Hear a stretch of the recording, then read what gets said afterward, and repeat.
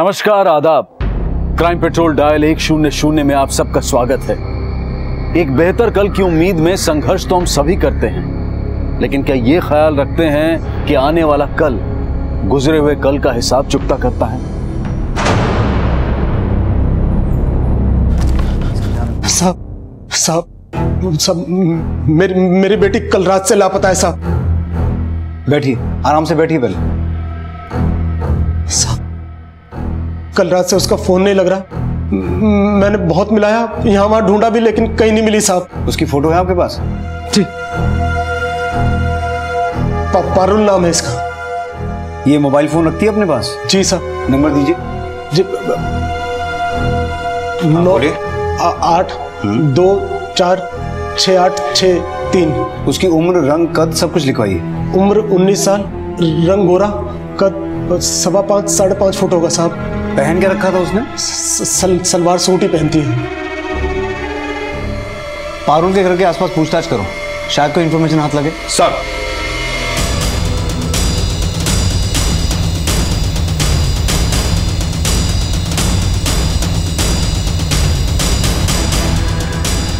इसे जानती हैं? साहब पारुल पर ये राजेंद्र भाई की बेटी कैसे हो सकती है? कैसे हो सकती है मतलब? साहब राजेंद्र भाई पारुल को अपनी बेटी की तरह मानते थे। और कविता बोल रही थी कि पारुल राजेंद्र भाई के दोस्त की बेटी है। कविता? कौन है कविता? साहब राजेंद्र भाई की बीवी। वो तो खुद तेईस चौबीस साल की है। उसकी बेटी पारुल कैसे हो सकती है? उसकी तो खुद की छह सात साल की अपनी बेटी है। मम्मा के पास जाना है। आयुषी बेटा? मम्मा के पास ले चलो अरे आयुषी बेटा चुप चुप। मम्मा के पास ले मेरा बच्चा, मेरा अच्छा बच्चा। के पास ले चलो ना। हाँ मम्मी आएँगे ना बेटा? मुझे मम्मा के पास जाना है मुझे ले चलो। हाँ बेटा जाएँगे मम्मा के पास जाएँगे चलिए। आपने कुछ खाया है कि नहीं? हाँ। हाँ लेके जा रहे हैं आइए। मम्मा के पास हाँ हाँ रो मत लेके जाएँगे। Yes yes. आयुषी भी मेरी बेटी है और पारुल भी। पारुल मेरी पहली बीवी से है और आयुषी दूसरी से। मेरी पहली बीवी का देहांत हो गया था इसलिए पारुल को यहाँ ले आया। अभी है कहाँ तुम्हारी दूसरी बीवी? पता नहीं। पता नहीं मतलब? कविता का रहना ना रहना एक बराबर है। वो घर में नहीं टिकती। कई कई दिनों तक तो घर वापस नहीं आती। क्यों? कहीं पर जॉब करती है क्या वो? पास में एक ब्यूटी पार्लर में। लेकिन उसका चरित्र अच्छा नहीं है साहब। साहब मोहल्ले वाले अपने घर के मर्दों को कविता के साय से भी बचा कर रखते थे। ऐसी औरत का क्या भरोसा? कब किसको फंसा ले? कल मैंने कविता को फ़ोन करके बोला कि पारुल मिल नहीं रही है। वो घर आके आयुषी को संभाल ले ताकि मैं पारुल को ढूंढ सकूँ। लेकिन उसने मेरा फ़ोन काट दिया। नंबर दीजिए कविता का। नौ आठ दो चार पाँच तीन सात। आप जिस नंबर को डायल कर रहे हैं वो इस समय स्विच ऑफ़ है। उसका फ़ोन तो स्विच ऑफ़ है। भाग गई होगी किसी के साथ। मेरा उससे कोई लेना देना नहीं है। कौन से ब्यूटी पार्लर में काम करती है वो? सर आज कविता आई ही नहीं। कल आई थी। आई थी लेकिन शाम को छह बजे के आसपास आई थी। पारुल से आखिरी बार बात कब हुई? है कल शाम फ़ोन पे करीब साढ़े चार बजे बात हुई थी। हाँ बिटिया। मेरी अपने दोस्त से बात हुई है। हाँ हाँ हाँ। हाँ वो दो चार दिन में तेरा किसी अच्छे कॉलेज में दाखिला करवा देगा। ठीक है बाबा। कहाँ है तू? मैं आयुषी को ट्यूशन छोड़ने जा रही थी। हाँ पारुल आयुषी को ट्यूशन के लिए छोड़ने आई थी लेकिन उसको लेने के लिए नहीं आई। तो फिर लेने कौन आया था? कोई नहीं आया। फिर मैंने पारुल को फ़ोन किया। पारुल का फ़ोन बंद जा रहा था तब मैंने कविता को फ़ोन मिलाया। कविता ने मेरा फ़ोन नहीं उठाया। रात को खुद आयुषी के पापा राजेंद्र जी उसको लेके गए। अच्छा पारुल आयुषी घुल मिल गई थी ये तो ठीक है। लेकिन आपने कविता से झूठ क्यों बोला कि पारुल आपके दोस्त की बेटी है? कविता के लिए सब झूठ एक बराबर है। उसे ना मेरी फ़िक्र है ना आयुषी की। और वैसे भी सोचा कि पारुल शादी के लायक हो गई है एक दो साल में उसे विदाई करना है। तो कविता को सच बताकर घर की शांति क्यों भंग करूँ? हो सकता है कविता को अब इस झूठ का पता चल गया हो। कल वो शाम छह बजे के बाद आई। इसकी कोई खास वजह? सर कल उसकी दो बजे तक की छुट्टी थी। लेकिन शाम तक वो आई नहीं। लेकिन छह बजे के आसपास वो आ गए। तो काफ़ी अफरा तफरी में थी। सॉरी लेट हो गए दो बजे का बोला था और छः बजे आई है। आज पगार का दिन है और मुझे पैसों की बहुत ज़रूरत है।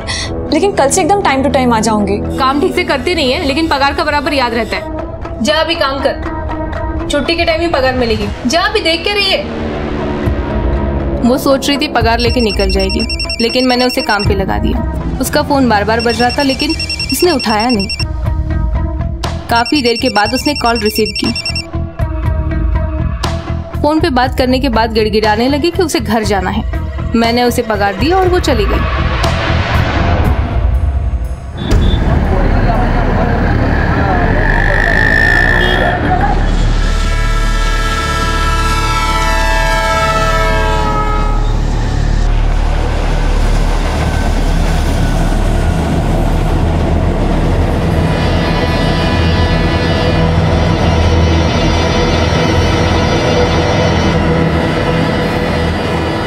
बॉडी को पोस्टमार्टम के लिए भेजो और आसपास के एरिया में सर्च करो।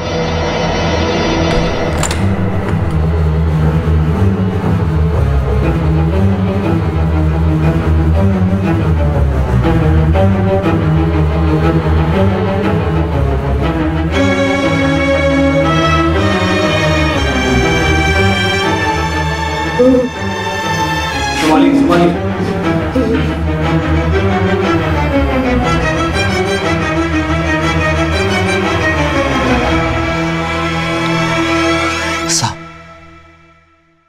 साहब वो हमारी बेटी पारुल नहीं है। हमारी बेटी मर नहीं सकती साहब। हम तो यही चाहेंगे कि पारुल सही सलामत हो। फिर भी आपका और डेड बॉडी का डीएनए मैच करके देख लेते हैं। छिरके आइए। जाइए। चलिए।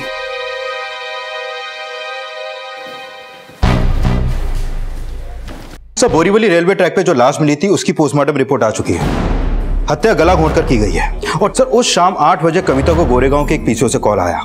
लेकिन राजेंद्र का फ़ोन उसने ब्यूटी पार्लर से निकलने के बाद सवा आठ बजे उठाया। सर राजेंद्र के इस बयान में भी सच्चाई है कि कविता अच्छे चरित्र की नहीं थी क्योंकि उसको शहर के अलग अलग पीसीओ से अक्सर कॉल आते थे। सर हो सकता है कि कविता नहीं चाहती थी कि राजेंद्र को उसके लवर्स का पता चले इसलिए उसने अपने लवर्स से पीसीओ से कॉल करने के लिए बोला। लेकिन कामत हमें जानना ही है कि कविता के अफेयर्स का पारुल के गायब होने से क्या कनेक्शन है। कनेक्शन हो सकता है सर।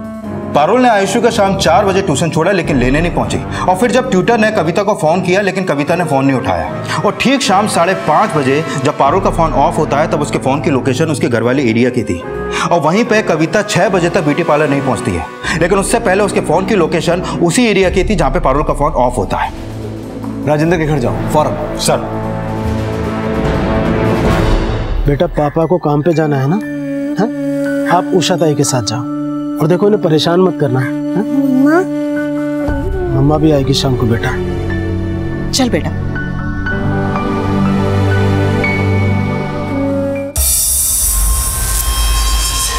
साहब आप पारुल का कुछ पता चला? चाबी निकालिए। जी? चाबी दीजिए मेरे को।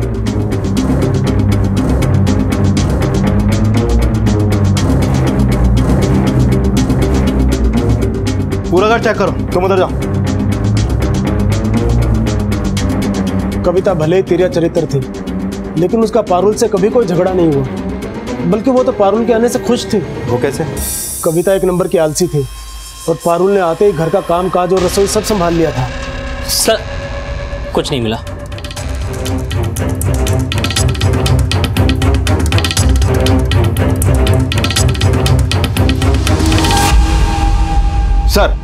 मैंने राजन का घर अच्छी तरीके से चेक किया लेकिन किसी तरह के ब्लड स्टेन या मर्डर का कोई भी क्लू नहीं मिला। सर मैंने राजन का घर अच्छी तरीके से चेक किया लेकिन किसी तरह के ब्लड स्टेन या मर्डर का कोई भी क्लू नहीं मिला। पारुल और कविता का अचानक गायब हो जाना यह संदेह खड़ा कर रहा था कि शायद कविता पारुल की हत्या करके फरार हो गई है और कविता के चरित्र से जुड़े खुलासे भी इस थ्योरी को स्ट्रांग बना रहे थे। लेकिन रेलवे ट्रैक के पास मिली डेड बॉडी का डीएनए पारुल के पिता के डीएनए से मैच नहीं हुआ था। अगर वो बॉडी पारुल की नहीं है तो पारुल के साथ ऐसा क्या हुआ जो वो अचानक लापता हो गई? और ये कविता के गायब होने का क्या राज है? सर पारुल का कॉल रिकॉर्ड्स में एक अंकित नाम के लड़के का भी नंबर है। और इन दोनों के बीच में अक्सर कॉल होते थे। सर अंकित का ये नंबर बिहार का है लेकिन पिछले डेढ़ महीने से ये नंबर मुंबई में एक्टिव है। ये देखिए सर। लेकिन सर गौर करने वाली बात यह है कि पारुल का यह नंबर उसके पिता राजेंद्र के नाम पे तो रजिस्टर्ड है ही। लेकिन राजेंद्र के दिए गए नंबर के अलावा एक और नंबर पारुल के रिकॉर्ड में है। वो भी राजेंद्र के नाम पर रजिस्टर्ड है। और पारुल अक्सर इस नंबर पर भी कॉल करती थी। सर पारुल का मोबाइल अजमेर में कुछ देर के लिए ऑन हुआ था।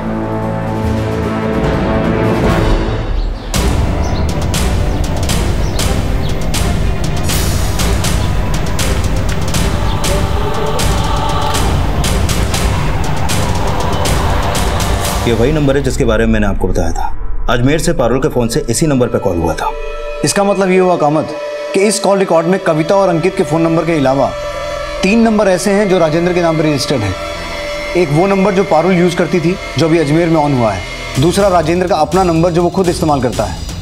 और तीसरा वो नंबर जिस पर अभी अजमेर से कॉल हुआ ये नंबर कौन इस्तेमाल करता है? सर पारुल के पिता राजेंद्र जी आए। साहब अभी पारुल का फ़ोन आया था। ले, लेकिन उसकी आवाज़ नहीं आई। और जब हमने उसे फ़ोन किया तो उसका फ़ोन बंद था। हमें पारुल की बहुत फ़िक्र हो रही है साहब। वो नंबर अजमेर में एक्टिव था। वहीं से कॉल हुआ। पारुल पारुल अजमेर क्यों जाएगी साहब? ये तो हमें आप बताइए। हमें हमें तो कुछ समझ नहीं आ रहा साहब। समझ में तो हमें भी एक बात नहीं आ रही है। आपने हमें जो अपना नंबर दिया था वो अलग है। लेकिन अभी अजमेर से जो कॉल हुआ वो अलग नंबर पर कॉल हुआ। जी साहब। ये मेरा दूसरा नंबर है। दरअसल पारुल के पास मुंबई की आईडी नहीं थी। मैंने उसे अपनी आईडी से सिम खरीद कर दिया तो अपने लिए एक नया सिम ले लिया। क्यों? हम इलेक्ट्रिशियन है साहब। ये हमारे पुराने नंबर पर बराबर से नेटवर्क नहीं आता। इसलिए हमने ये नया नंबर लिया। ताकि इस नंबर पर फ़ोन ना लगे तो पार्टी दूसरे नंबर पर कॉल कर सके और काम हाथ से ना जाए साहब। ये अंकित कौन है? पारुल का मंगेतर है साहब। अंकित बहुत अच्छा लड़का है साहब। जब से पारुल गायब हुई है अंकित बहुत परेशान रहता है। अभी है कहाँ अंकित? मुंबई में ही है। देखिए हम कह रहे हैं ना आप चिंता मत ही कीजिए। हम अपने चचा को फ़ोन करते हैं और कहते हैं कि अपनी पार्टी का अजमेर शाखा में कोई कनेक्शन निकालें और अपने किसी कार्यकर्ता को पारुल की तलाश में लगा दें। ठीक है? ठीक है। अच्छा हम आपसे बाद में बात करते हैं कोई आया है? जी जी बिल्कुल खैरियत।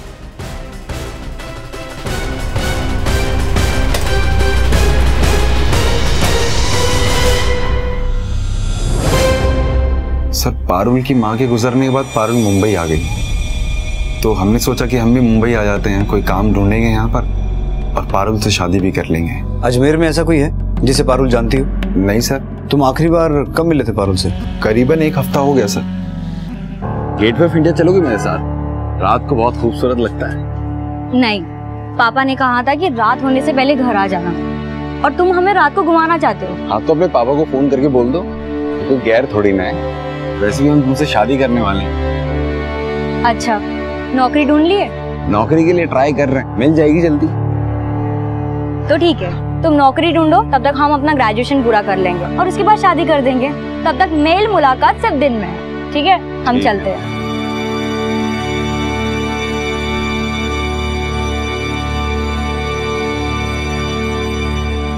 पारुल की सौतेली माँ कविता के बारे में उसने कभी कुछ बताया तुम्हें? कभी कभी बात करती थी वो उनके बारे में। क्या बात करती थी? पारुल? पार, पारुल बेटा? पारुल? सर अभी अभी पारुल का फ़ोन फिर से अजमेर में ऑन हुआ है पर लोकेशन दूसरी थी और इस बार भी राजेंद्र के नए नंबर पे कॉल हुआ है सर। राजेंद्र को फ़ोन लगा। हाँ सर। उसका फ़ोन आया था लेकिन उठाते ही कट गया। सर मैंने अजमेर पुलिस को दूसरी लोकेशन के बारे में अपडेट कर दिया है। पर पारुल का फ़ोन जिस लोकेशन पर पहले ऑन हुआ था वहाँ से कोई लीड नहीं मिला सर। ये बात तो तय है कामत। ये फ़ोन पारुल नहीं कोई और कर रहा है। सर हो सकता है ये कविता हो। पता लगाओ कविता का अजमेर से क्या कनेक्शन है? वो वाकई में पारुल का मर्डर करके अपने किसी आशिक के साथ भागी है या फिर कहानी कुछ और है? सर गोरेगांव के जिस पीसीओ से कविता को आखिरी बार कॉल हुआ था वहाँ आसपास में कोई सीसीटीवी नहीं है। और किसने कॉल किया था उसका भी कोई क्लू नहीं मिला है सर। मुंबई के जिन जिन पीसीओ से कविता को फ़ोन हुए थे हर जगह पूछताछ करो। और कविता को जिन जिन लोगों के साथ देखा गया था, सबका स्केच बनवाने की कोशिश करो। और हाँ ये भी पता लगाओ कि कविता का कोई दूसरा नंबर तो नहीं है। पारुल अजमेर गई या फिर सिर्फ़ पारुल के नंबर को अजमेर ट्रैवल करवाया गया?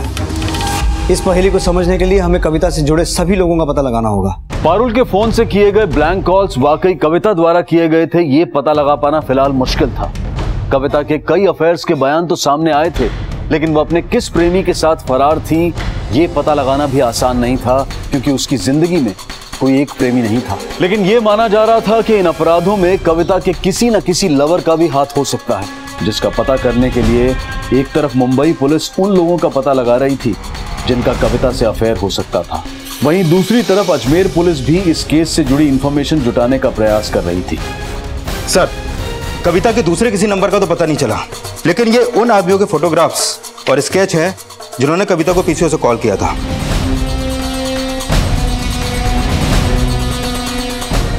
और सर ये उस आदमी का स्केच जिसको पिछले दिनों कविता के साथ देखा गया। सर मैंने ये फोटोग्राफ्स और स्केच उस गोरेगांव वाले पीसी ओनर को दिखाया है जहाँ से कविता को आखिरी बार कॉल हुए थे लेकिन पहचान नहीं हो पाई सर। कैसे भी करके इनकी पहचान करो। और हाँ जिस दिन पारुल और कविता गायब हुए हैं उस दिन अजमेर रूट पे जाने वाली सभी ट्रेन का रिजर्वेशन डेटा निकलो सर सर मुझे नहीं पता कविता अजमेर में है या मुंबई में। मेरे तो उससे बात हुए कई महीने हो चुके हैं। मान लेते हैं तुम्हें नहीं पता। लेकिन मोबाइल होते हुए भी कविता को पीसीओ से फ़ोन क्यों करते थे? सर एक बार कविता के पति ने मुझे और कविता को मार्केट में देख लिया था। पर एक मार्केट में उसने मेरी पिटाई की। सर बहुत ही शक्की इंसान है वो। उसका पति शक्की है। तुम बड़े चरित्रवान हो। हुँ? सर देखिए जैसा आप सोच रहे हैं ऐसा कुछ भी नहीं है हमारे बीच। वो हम केवल अच्छे दोस्त थे सर। तो तुम्हारी इस दोस्ती के बारे में तुम्हारी बीवी को पता है? ठीक है जा सकते हो। थैंक यू सर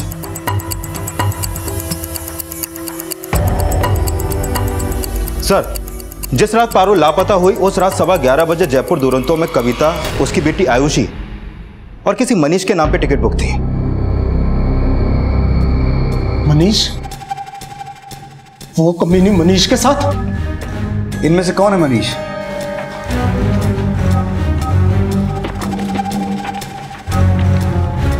ये ये वो कमीना। दोस्त है हमारा लेकिन हम नहीं जानते थे कि वो हमारी पीठ पीछे हमारी बीवी के साथ अजमेर। पारुल? पार, पारुल बेटा? पारुल? साहब, हमारी पारुल को बचा लीजिए साहब। हमारी पारुल को बचा लीजिए, हमें बहुत फ़िक्र हो रही है उसकी साहब। पारुल के लौट आने की उम्मीद उसके पिता ने अब तक ज़िंदा तो रखी थी, लेकिन अब ये उम्मीद दम तोड़ रही थी। पुलिस जब मनीष के घर पहुँची तो पारुल की हत्या का संदेह आखिरकार प्रमाण में बदल गया।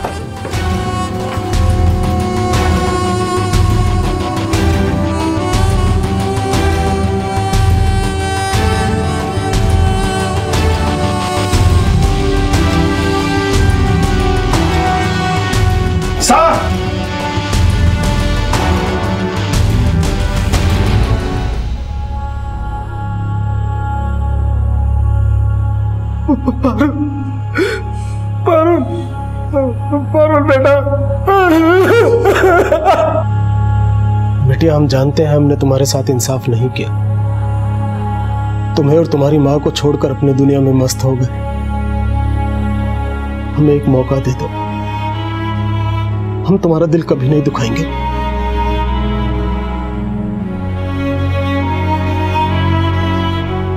पारुल ने अपने पिता को उनकी भूल सुधारने का मौका तो दिया लेकिन ज़िंदगी ने उससे जीने का मौका छीन लिया।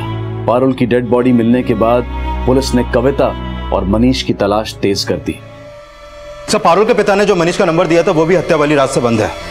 अजमेर पुलिस से कहो कि मनीष और कविता की तलाश तेज कर। सर। पुलिस अब अजमेर में कविता और मनीष तक पहुँचने की लीड तलाश रही थी। लेकिन पारुल की हत्या क्यों और किन हालात में हुई? इस हत्या का मोटिव क्या था? क्या कविता को पता चल गया था कि पारुल राजेंद्र की पहली पत्नी की बेटी है? लेकिन अगर कविता को किसी के साथ भागना ही था तो उसे राजेंद्र और पारुल के रिश्ते से क्या फ़र्क पड़ता था? ऐसे कई और पहलू इस केस से जुड़े थे, जिनके समीकरण जोड़ने की कोशिश की जा रही थी। पारुल की डेड बॉडी मनीष के घर से मिली। तो क्या पारुल की हत्या मनीष के घर पे हुई? और अगर ऐसा है तो सवाल ये उठता है, कामत कि जो लड़की मुंबई में ज़्यादा लोगों को जानती तक नहीं, वो अपनी सौतेली माँ के लवर के घर पे क्या करने गई? जबकि उसका फ़ोन साढ़े पाँच बजे तक उसके घर वाले एरिया में एक्टिव था। सर, ये भी कंफर्म है कि कविता शाम छह बजे से सात बजे तक ब्यूटी पार्लर में थी। और मनीष का घर गोरेगांव में तो हो सकता है कि मनीष ने उस पीसीओ से शाम सात बजे कविता को कॉल किया। और कविता भी सात बजे के बाद मनीष के घर पे गई हो। अब सवाल ये उठता है, सर, कि पारुल खुद मनीष के साथ उसके घर पे गई? या कविता चालाकी से उसे अपने साथ वहाँ पर ले गई? ये दोनों पॉसिबिलिटीज तो हैं। पर शाम साढ़े पाँच बजे पारुल का फ़ोन मलाड में बंद होने का चक्कर भी समझना होगा, सर। क्या पारुल का मर्डर कविता को उस पीसीओ से फ़ोन आने से पहले हुआ? या कविता के ब्यूटी पार्लर से निकलने के बाद? सवाल ये भी उठता है, कामत, कि अगर उस दिन अजमेर की ट्रेन में मनीष, कविता और आयुषी तीनों के टिकट बुक थे तो फिर ये दोनों आयुषी को अपने साथ लेके क्यों नहीं गए? आयुषी अजमेर क्यों नहीं गई और पारुल मनीष के घर कैसे पहुँची? ये समझने के लिए हमें पारुल और कविता की इक्वेशन को समझना होगा। सिर्फ़ बाहर वालों से ही नहीं आयुषी से भी पूछताछ करनी पड़ेगी। बेटा आपको पारुल दीदी अच्छी लगती थी? और आपकी मम्मा? अंकल कुछ पूछ रहे हैं। बताओ। अच्छा एक बात बताओ। आपकी पारुल दीदी और आपकी मम्मा दोनों फ्रेंड्स थे? ये इतना डरी हुई क्यों है? जब से पारुल लापता हुई और इसकी माँ भा तभी से सदमे में साहब सर, मुझे नहीं पता ये कविता की स्टेप डॉटर थी। हाँ लेकिन एक दो बार इसे मैंने कविता का पीछा करते हुए देखा था।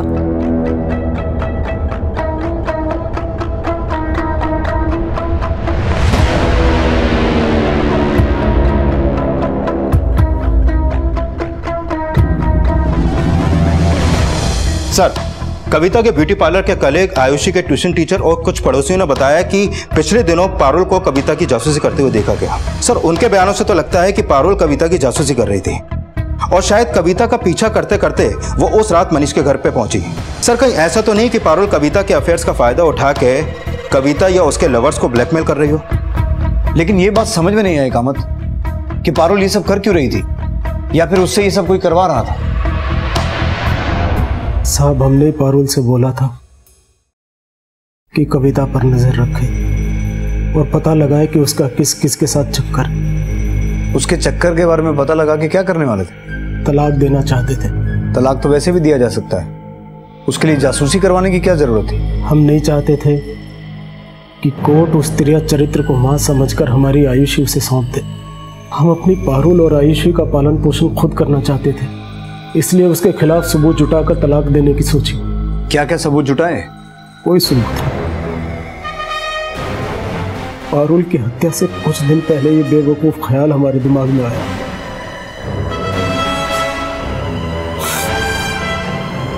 हम हम तो पछता रहे हैं। कि वो अपनी बच्ची को उस डायन की जासूसी में लगाया? कहा गई हमारी बच्ची को।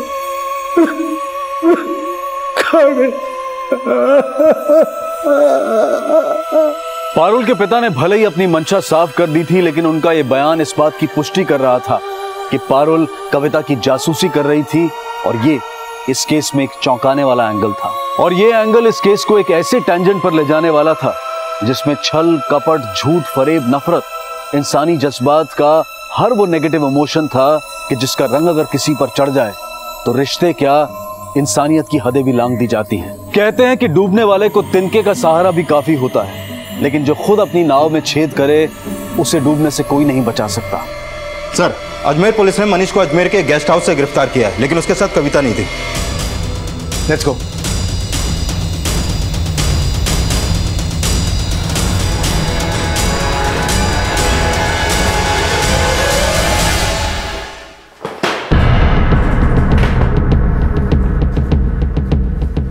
सर कविता कहाँ है मुझे नहीं पता। वो मेरे साथ अजमेर नहीं आई है। तू क्या सोचता है? कविता को बचा के मर्डर चार्ज से बच जाएगा? सर मैंने कोई मर्डर नहीं किया सर। पारुल की बॉडी तेरे घर से मिली है। उसका फ़ोन भी तेरे पास से मिला है। सर ये फ़ोन कविता ने मुझे दिया था। उसी ने मारा होगा पारुल को सर। सर ये उसकी साजिश है मुझे फंसाने की सर। सर मेरे घर की चाबी भी उसी के पास रहती थी। घर तो उसने कईयों के उजाड़े हैं। तूने उसमें ऐसा क्या देखा? जो तेरे घर की चाबी उसने अपने पन्नू में बाँध दी? सर मैं एक इलेक्ट्रिकल इंजीनियर हूँ। और राजेंद्र एक मामूली सा इलेक्ट्रिशियन मेरे उठाए हुए ठेकों पे मेरे अंडर काम करता था। मुझे हैरानी होती थी, सर, कि उसकी वाइफ उससे 18 साल छोटी है। लेकिन सर, मैंने कभी उस पर कोई चांस नहीं मारा, सर। शुरुआत उसने की थी।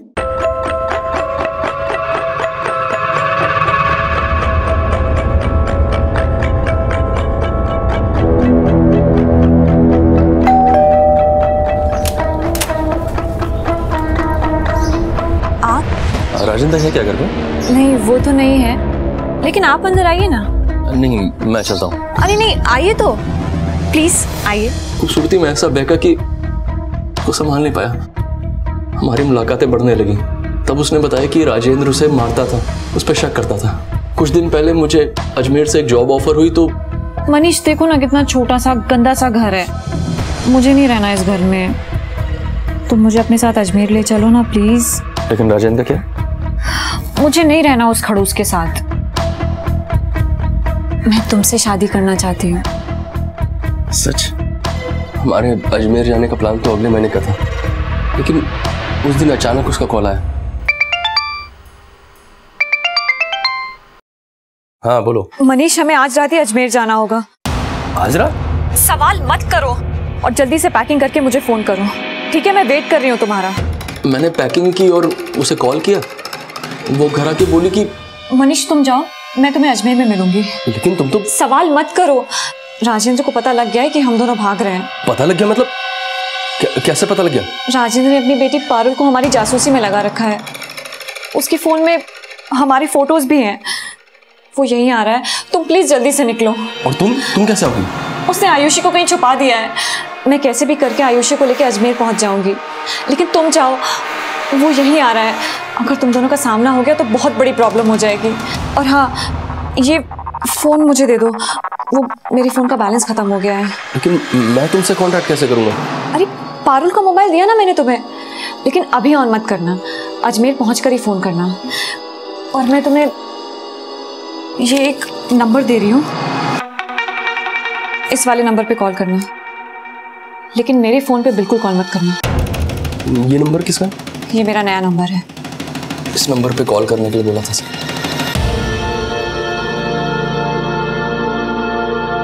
फ़ोन दीजिए।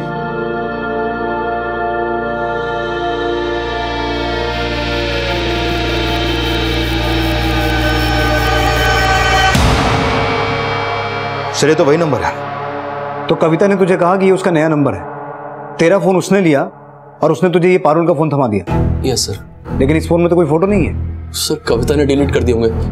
मैंने तो देखे तक नहीं। अजमेर आने के बाद फ़ोन ऑन किया और अपने नंबर पे कॉल किया तो फ़ोन बंद था। फिर कविता के नए नंबर पे कॉल किया तो राजेंद्र ने फ़ोन उठाया। फिर? फिर मैंने दोबारा कॉल किया तो भी राजेंद्र नहीं उठाया। तो उसके बाद से मैंने फ़ोन बंद ही कर दिया था। पीसीओ से कई बार अपने नंबर पे और कविता के पुराने नंबर पे कॉल किया तो दोनों नंबर बंद थे सर अगर कविता तेरे साथ नहीं आई तो फिर टिकट आयुषी कविता और तेरे नाम पे बुक क्यों किया था? सर टिकट तो मैंने तभी बुक करा ली थी जब कविता ने अजमेर भागने की बात कही थी। लेकिन सर उस टिकट पे मैं अकेले ही अजमेर आया। ना मेरे साथ कविता थी ना आयुषी थी।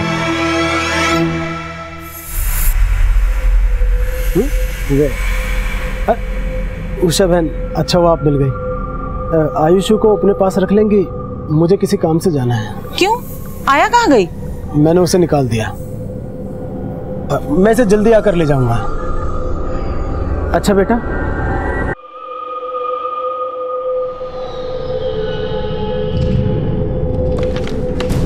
सर जिस ट्रेन से मनीष अजमेर गया था उस ट्रेन के टीटी से बात हुई। उस टिकट पर मनीष अकेला अजमेर गया था और अजमेर के गेस्ट हाउस में भी वो अकेला रुका था। ना तो वहाँ कविता को देखा गया और ना ही अजमेर में कहीं भी कविता के देखे जाने का क्लू मिला है सर।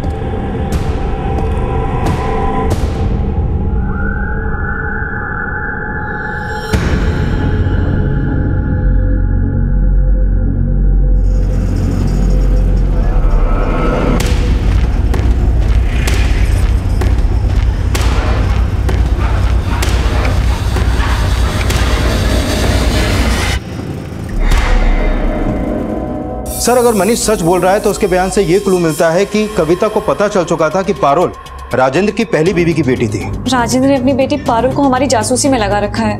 और राजेंद्र ने भी बताया था कि वो पारोल से कविता की जासूसी करवाता था। कविता का मोबाइल पारोल के हाथ लगा तो हो सकता है कि कविता के हाथों पारोल का मर्डर हो गया हो। पर सवाल ये उठता है कामत कि क्या कविता ने मनीष को अजमेर सिर्फ़ इसलिए भगाया क्योंकि वो पारुल की लाश को उसके घर में ठिकाना लगाना चाहती थी? अगर ऐसा है तो ये काम अकेली औरत के बस का नहीं लगता। सर, हो सकता है उसका साथ उसके किसी आशिक ने दिया हो और मनीष को फंसा कर वहाँ से उसके साथ निकल गई हो। यह भी हो सकता है कि कविता कहीं भागी ना हो, बल्कि पारुल की हत्या के बाद वो राजेंद्र के बदले की शिकार बन गई हो।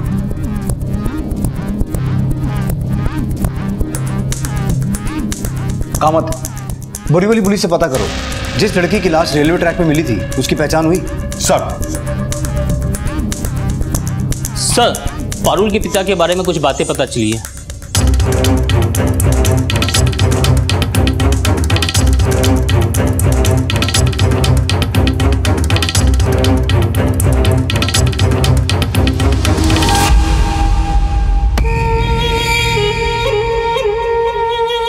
सर, वो औरत वही है जिसे पारुल के पिता ने आयुषी की आया बना के रखा था।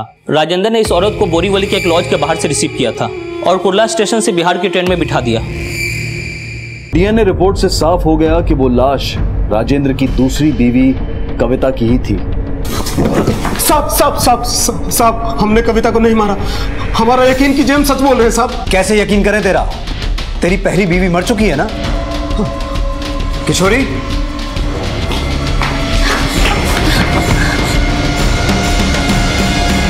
जीते जी तूने अपनी पहली बीवी को स्वर्गवासी बताया। और तूने हमसे एक नहीं कई झूठ बोले हैं। तूने हमसे यह भी छुपाया कि कविता तेरी साली थी। कविता जैसी भी थी, हमें पता चल गया है।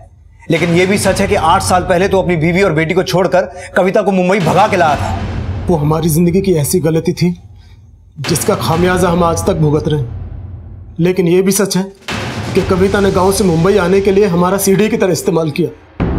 वो मुंबई हमारी बीवी बनकर तो आ गई, लेकिन मुंबई की चकाचौंध के सामने उसे हमारी हैसियत बहुत छोटी लगी। और अपनी हैसियत बढ़ाने के लिए न जाने कहाँ कहाँ मुँह मारने लगी?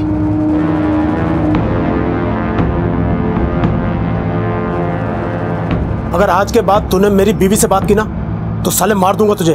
हमें ये एहसास होने लगा था कि वो सुधरेगी नहीं। लेकिन गलती सिर्फ़ कविता की नहीं थी। हमने भी आठ साल पहले ये गलती की थी और हमें भी अपनी गलती का धीरे धीरे एहसास होने लगा था। बेटा हम जानते हैं हमने तुम्हारे साथ इंसाफ नहीं किया। तुम्हें और तुम्हारी माँ को छोड़कर अपनी दुनिया में मस्त हो गए। हमें एक मौका दे दो। हम तुम्हारा दिल कभी नहीं दुखाएँगे। बच्चे को मत फुसलाओ समझे ना? पहले उस कुलचनी को अपनी ज़िंदगी से दूर फेंको। फिर हम समझेंगे कि तुम्हें अपने किए पे पछतावा है। हम उसे छोड़ देंगे सरला। लेकिन हम आयुषी को अपने साथ रखना चाहते हैं। अगर तुझे आयुषी की इतनी फ़िक्र होती तो अपने अपराधों पर पर्दा नहीं डालता। पारुल की मौत का जिम्मेदार भी तू ही है क्योंकि तू उससे कविता की जासूसी करवाता था। तू ये भी जानता था कि कविता और मनीष भागकर अजमेर जाने वाले हैं। तूने ही आयुषी को नजरबंद करके रखा था इसकी वजह से कविता के हाथों पारुल का मर्डर हुआ। और इतना कुछ होने के बावजूद तू हमारे पास नहीं आया। कविता की जान के पीछे पड़ गया। तेरा बस चलता तो तू मनीष को भी मार देता। नहीं साहब नहीं। तूने उसे मारा नहीं लेकिन पारुल की लाश को उसके घर में ठिकाने लगाया। नहीं साहब उस दिन तो हमने पारुल की शक्ल तक नहीं देखी थी। हमें तो ये भी नहीं पता था कि मनीष और कविता के बीच में कोई चक्कर चल रहा है। फिर हमें ये कैसे पता होता कि वो भागकर अजमेर जाने वाले तो अब तू ये कहेगा कि तूने कविता को भी नहीं मारा। उसे हमने मारा है। इन्होंने नहीं। और अगर हमारा बस चलता तो उस कलमुही को आठ साल पहले ही मार देते।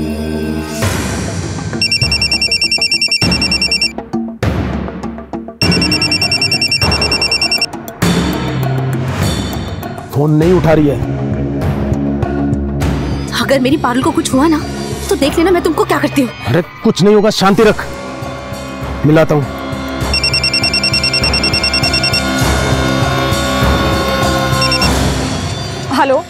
हम बिज़ी हैं अभी। पारुल कहाँ है? हमें क्या पता? झूठ मत बोल। ए कविता। बता पारुल कहे नहीं तो अच्छा नहीं होगा। कौन बोल रहा है? ज़्यादा नाटक मत कर समझी ना। तू अच्छे से जानती है कौन बोल रहा है। दीदी। ज़्यादा दीदी दीदी मत कर। अगर एक घंटे में हमारी पारुल नहीं आई ना तो देख लेना हमसे बुरा कोई नहीं होगा। बेटा अब तू तू सो जा। मुझे मम्मा के पास जाना है ले चलो ना। मम्मा के पास ले जाएँगे। मैं मैं तुम्हारी मम्मा को यहीं लेकर आऊँगा। हाँ? सो जा।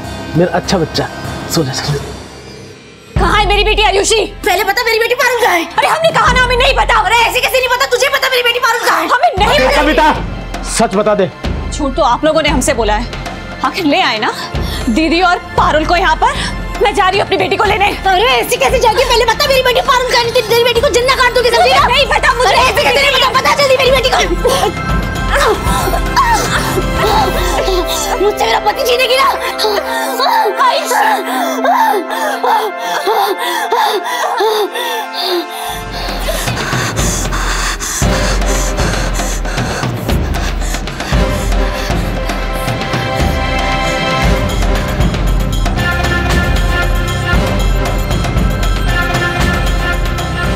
सरला पिछले आठ सालों से हमारी गलतियों का बोझ ढो रही है। अपनी गलतियों की सजा उसे कैसे भुगतने देते साहब? लेकिन हमें तो तब तक ये भी नहीं पता था कि हमारी पारुल ज़िंदा है भी या नहीं।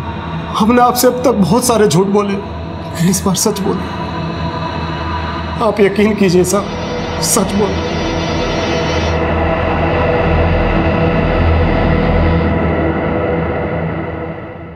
सर, अगर राजेंद्र सच बोल रहा है तो क्या मनीष ने हमसे झूठ बोला? या कविता ने मनीष से झूठ बोला? झूठ तो हमसे अंकित ने भी बोला था। सर मैं झूठ नहीं बोलना चाहता था। लेकिन पारुल के पापा मेरे सामने गड़गड़ाने लगे कि उनके मुँह से झूठ निकल गया। लेकिन सर मुझे मुझे उन्होंने ये नहीं बताया कि पारुल पारुल की मम्मी ने पारुल की छोटी मम्मी का मर्डर कर दिया है। पारुल कविता की जासूसी करती थी। इस बारे में पारुल ने कभी कुछ बताया नहीं?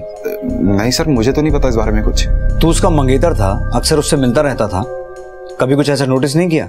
नहीं सर मैंने पारुल को कभी उसकी छोटी मम्मी कविता की जासूसी करते हुए नहीं देखा। पर हाँ एक बार हम कैफ़े में थे और वहाँ पर हमने कविता को देखा था एक आदमी के साथ। और सर वो आदमी उसे पैसे भी दे रहा था। कौन आदमी? मुझे नहीं पता सर मैं ऐसे बता नहीं पाऊँगा। इनमें से था कोई?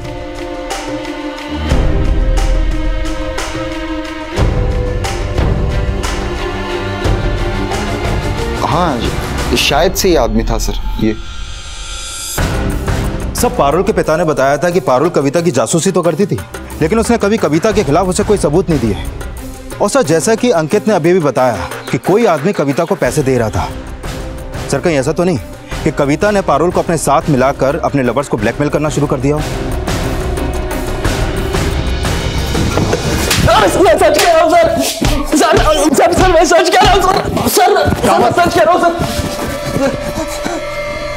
सर सर मुझे किसी ने ब्लैकमेल नहीं किया सर सर मैं आज तक पारुल से मिला ही नहीं तो उसका मर्डर कैसे करूँगा sir Shirke sir sir sir sir मैं सच कह रहा हूँ सर अंकित के बयान ने पुलिस के सामने जो एंगल रखा उसकी पुष्टि के लिए पुलिस अब कविता से जुड़े उन सभी आदमियों से पूछताछ करने लगी जिनके साथ कविता का अफेयर था। और जल्द ही इस राज से पर्दा उठ गया। सर कविता जिस ब्यूटी पार्लर में काम कर रही थी वहाँ के लैंडलाइन नंबर से अंकित को एक बार कॉल हुआ था। और हत्या वाली रात अंकित ने अपने डेबिट कार्ड से बैग शॉप से एक बड़ा बैग खरीदा था। मतलब उसकी शान पट्टी उसी में भारी पड़ गई। सर नहीं नहीं नहीं मैं अब बोलेगा या तोड़े? बोलता हूँ साहब अरे पारुल तुम यहाँ? दोस्त है तुम्हारा? मुझे नहीं मिलवाओगी? पारुल ने कविता से झूठ बोला था कि मेरी और पारुल की मुलाकात मुंबई में हुई थी। सर पारुल क्या उसकी जासूसी करती? वो खुद दो कदम आगे थी। कविता खुद पारुल की जासूसी कर रही थी। नौकरी ढूंढ लिए यार नौकरी के लिए ट्राई कर रहे हैं। मिल जाएगी जल्दी। अच्छा ठीक है। तुम नौकरी ढूंढो तब तक हम अपना ग्रेजुएशन पूरा कर लेंगे। और उसके बाद शादी कर देंगे। तब तक मेल मुलाकात सिर्फ़ दिल्ली ठीक है? अच्छा। हम चलते हैं। ठीक है।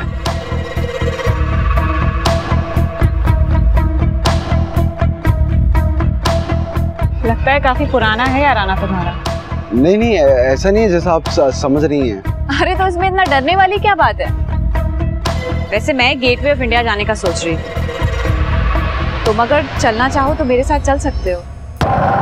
सही में? तुम चलो ना। इतना सोचने वाली क्या बात है? ऑटो! ऑटो! सर पता नहीं उस औरत में ऐसा क्या जादू था। उससे दो मुलाकात के बाद ही मैं पारुल को भूल गया। और उसे राज भी नहीं छुपा पाया कि कि पारुल के पापा उसे छोड़कर पारुल और पारुल की मम्मी को घर लेके आ रहे हैं। मेरा और कविता का रिश्ता भी पारुल की नज़रों से नहीं बच सका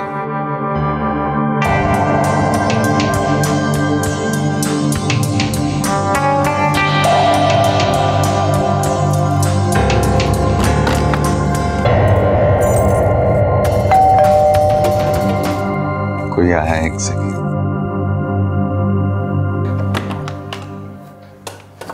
आखिर तूने दिखा दिया ना कि हर मार देख जैसा होता है? नहीं, नहीं ऐसा नहीं है। ऐसा कमीनी पारुल हे हाय, पारुल पारुल उठना। डरो मत। जैसा कह रही हूँ वैसा करो। ना तुम फंसोगे और ना हम।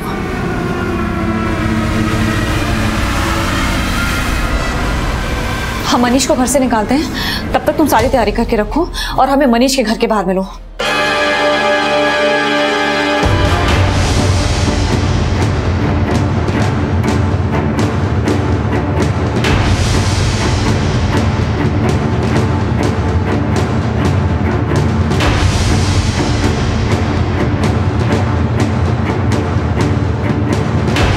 रिच तुम जाओ मैं तुम्हें अजमेर में मिलूँगी। लेकिन तुम तो सवाल मत करो।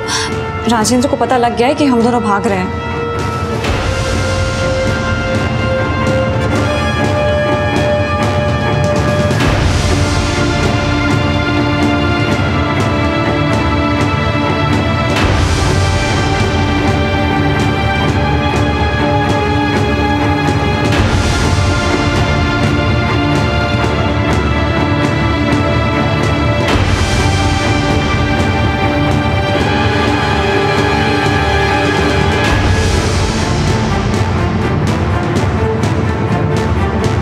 सलाखों के पीछे होते हैं, उन्हें ज़िंदगी भले ही नसीब हो जाए, पर उनका पश्चाताप किसी श्राप से कम नहीं होता।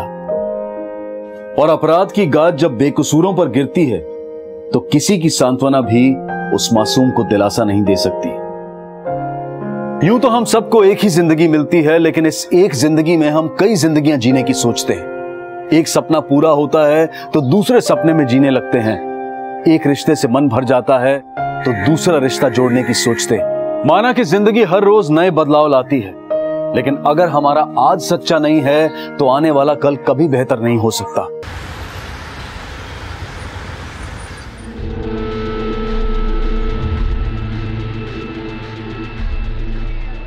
भैया छोटी बेटी को देखा क्या? कोई भैया छोटी बच्ची को देखा क्या? वो नहीं देखा मैडम।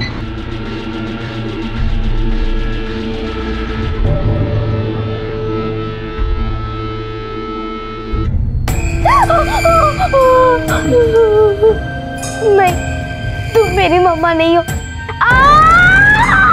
बेटी अब भी तो समझाया था तुम्हें मैं ही तुम्हारी माँ हूँ। मैंने अपने कोख से जन्म दिया है तुम्हें। तुम मेरा अंश हो। बोलो कौन हूँ मैं? आप भी मेरी मम्मा हो। गुड गर्ल गुड गर्ल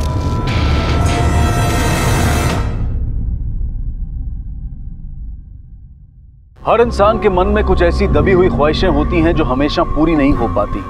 कई बार ये वक्त के साथ दम तोड़ देती हैं, पर कई बार ये इंसान को बेचैन करने लगती हैं और इतनी प्रबल हो जाती हैं कि सही और गलत का फ़र्क भुलाकर उसे किसी भी हद तक जाने पर मजबूर कर देती हैं। आज का एपिसोड भी कुछ ऐसा ही है, जहाँ है बिगड़े हुए रिश्तों की कहानी, बेपरवाह ख्वाहिशों की कहानी। इस मासूम बच्ची के साथ ये किन्नर कौन था, जो अपने आप को इस बच्ची की माँ होने का दावा कर रहा था?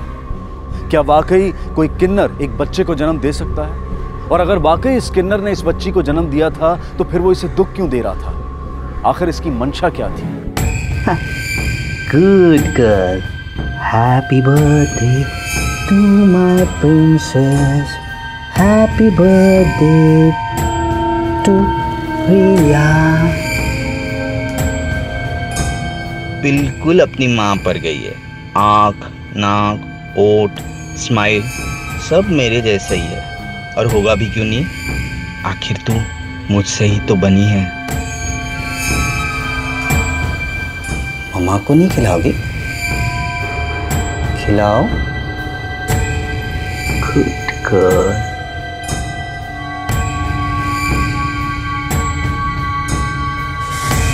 good girl one more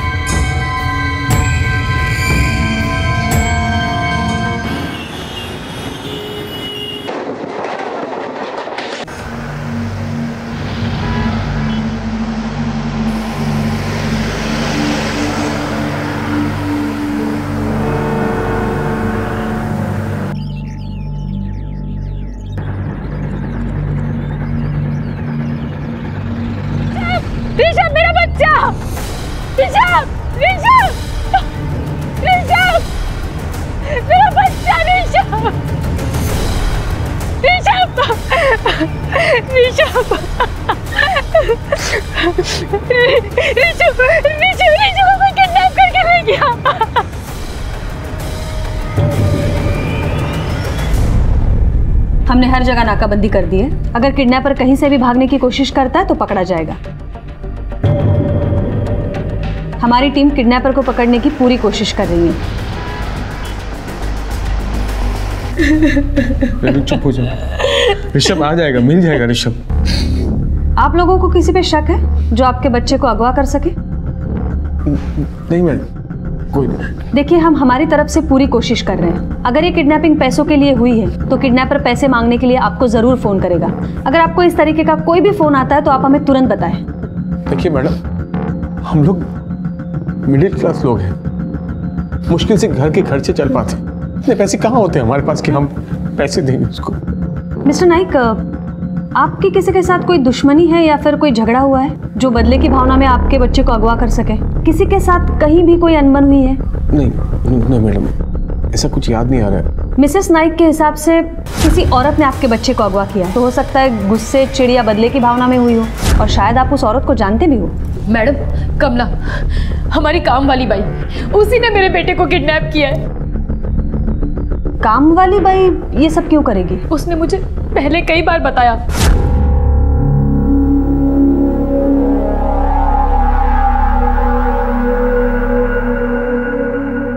लड़का नहीं है मेरे को।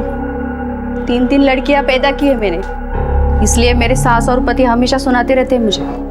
आपके जैसे थोड़े ना मेरा नसीब जो पहली बार में लड़का हो जाए। चुपचाप ना अपना काम कर। इतना क्यों गुस्सा कर रही हो दीदी?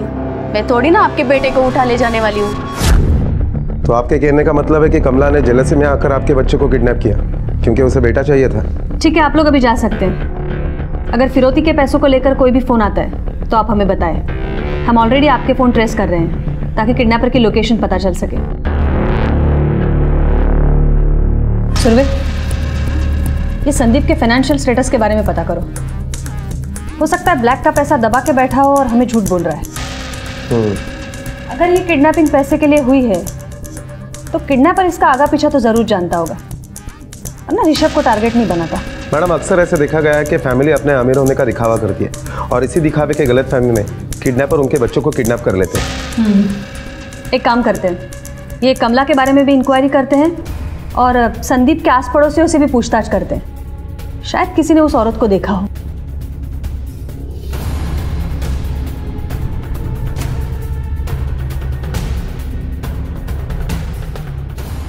जब एक बजे बच्चा गायब हुआ तब तुम कहाँ थे? साहब हम पार्किंग में थे। वो गेस्ट लोगों की पार्किंग में कोई गलत गाड़ी लगा रहा था। तो हम उसको समझा रहे थे। कौन था वो? रिकॉर्ड दिखाओ साहब इतना माथा बच्चे किया कि हम रजिस्टर में एंट्री करवाना भूल गए साहब। एक काम करो। सोसाइटी में जितने भी काम करने वाली आती है यानी सफ़ाई वाली खाना बनाने वाली बर्तन मांजने वाली सबके रिकॉर्ड निकालो। और सबके नंबर दे दो मुझे। और सोसाइटी में जितने भी विजिटर आते हैं सबकी एंट्री करना मत भूलना समझे?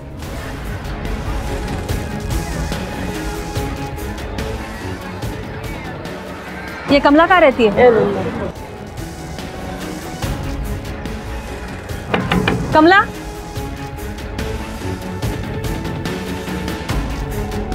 मैडम ये रेनू दीदी तो कुछ भी बोलती है मैडम। मैं काय को उसका बेटा उठाएगी? उसका बेटा उठाने से थोड़ी ना मेरे को मेरा बेटा मिल जाने वाला है। और वैसे भी मैडम एक बजे मैं बाजू वाली बिल्डिंग में काम कर रही थी। ये तुम्हारी तीन बेटियों के अलावा यहाँ कौन रहता है और? मेरे पति और मेरी सास। नहीं आता नहीं है ते घरी मेरी सास बीमार है। मेरे पति उनको अस्पताल में लेके गए। दो तीन दिनों में उनका ऑपरेशन होने वाला है। ऑपरेशन के पैसे जमा हो गए? हाँ हो गया happy birthday to you there is one more surprise for my princess this is your birthday gift low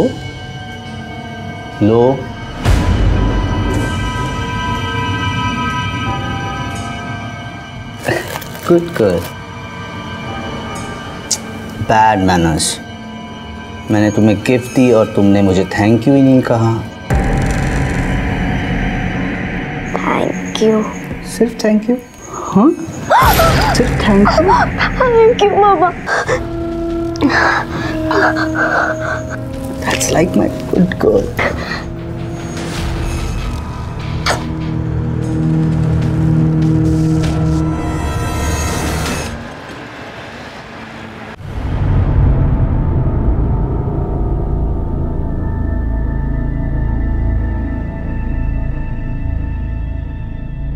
Renu relax कैसे? सब ठीक हो जाएगा।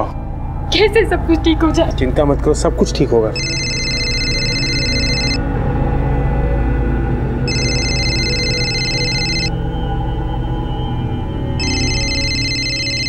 भाई का फ़ोन है?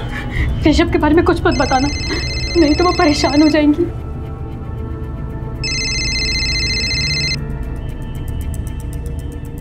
हाय बोल।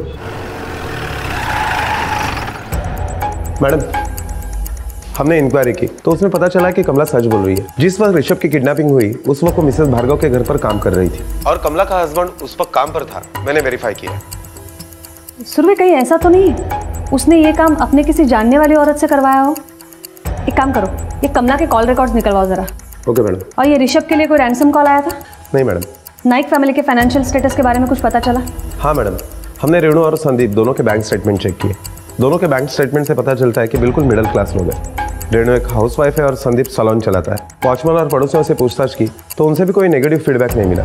हम्म। सुरभि इसका मतलब है ये किडनैपिंग पैसों के लिए तो हुई नहीं है। एक काम करते हैं संदीप के सलोन जाकर पूछताछ करते हैं। हो सकता है इनके बारे में वहाँ से कुछ पता चले। आखिर ये किन्नर कौन था जो प्यार और धमकी सब इस्तेमाल करके और संदीप जिसकी माली हालत बेहद कमज़ोर थी? उसके बच्चे को किसने और क्यों किडनैप किया था? क्या पैसे की वसूली इसका मकसद था या फिर सच? और भी भयानक था। कौन चिल्ला रहा है? मैंने कहा था ना तुम्हें तुम्हारे ज़ुबान से एक लफ्ज भी नहीं निकलना चाहिए।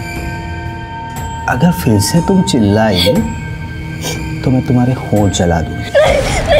चिल्ला बचाओ बचाओ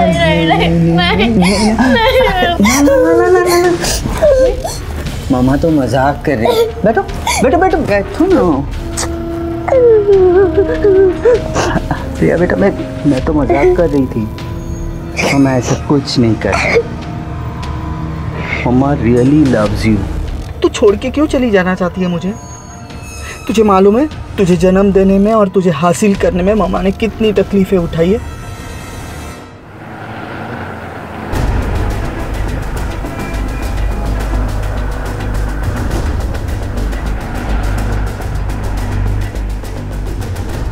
ये संदीप नाइक का सलून यही है? यस मैम आपका नाम क्या है? साइली आप यहाँ कितने साल से काम कर रही हैं? तीन साल से। ये संदीप नाइक का सलून में किसी के साथ या फिर कहीं आजू बाजू कोई झगड़ा था? किसी के साथ कुछ प्रॉब्लम थी? जी नहीं मैम ये साइली उस एक्टर के साथ जो पंगा हुआ था वो बोलना। हाँ मैम अभी एक हफ़्ते पहले एक कस्टमर के साथ सर का बहुत बुरा झगड़ा हुआ था। ये ये क्या हुआ मेरे फेस को? ये जल कैसे गया? क्या किया तुमने? सॉरी मैम सॉरी के बच्चे दांत तोड़ दूँगी। Please come down ma'am what क्या किया इसने? Okay, मेरा फेस जला दिया। I am sorry ma'am please be patience आप शांत हो जाइए मैं सब ठीक कर दूँगा। प्रिया? एक मिनट। तुम्हारे स्टाफ में से मुझे कोई भी हाथ नहीं लगाएगा। कोई भी हाथ नहीं लगाएगा प्लीज़ दो दिन दो दिन में तुम्हारा सलून बंद करवाऊँगी। जाओ बंद करो। मैं भी देखता हूँ क्या करती हैं आप। इतनी देर से मैं आपको समझा रहा हूँ लेकिन आप समझने की कोशिश नहीं कर रही हैं। देख लेना बहुत पछताओगे। तो उसने उस क्लाइंट को कुछ कंपनसेशन दिया था? मैम कंपनसेशन तो तब देते ना जब वो लेती। उल्टा वो तो झगड़ रही थी। बोल रही थी जैसे हमने उनका एक्टिंग करियर बर्बाद किया है वैसे ही वो संदीप सर का करियर बर्बाद कर देंगी। और वैसे भी मैम सर के पास पैसे कहाँ से आएँगे? क्यों ये सलोन अच्छा नहीं चल रहा है क्या? कुछ खास नहीं चल रहा है। सुरवे अगर ये सलोन ठीक से नहीं चल रहा है तो ये एम्प्लॉय की सैलरी कहाँ से देता है? नहीं मैम अभी तक किसी को दो महीने से सैलरी नहीं मिली है। मैडम सरिता का एड्रेस और नंबर मिल गया हम्म चलो।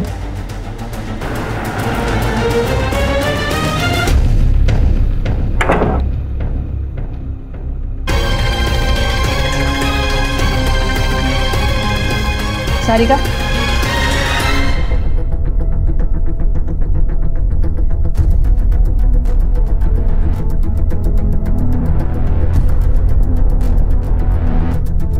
अगर बदला ही लेना होता मैम तो मैं उसे जान से मार डालती। उसके बच्चे को किडनैप करके क्या करूँगी मैं? मैं मुंबई आई थी हीरोइन बनने के लिए। लेकिन इस चेहरे के साथ कौन मुझे हीरोइन बनाएगा बताइए आप? वैसे आज दोपहर को एक बजे कहाँ थी आप?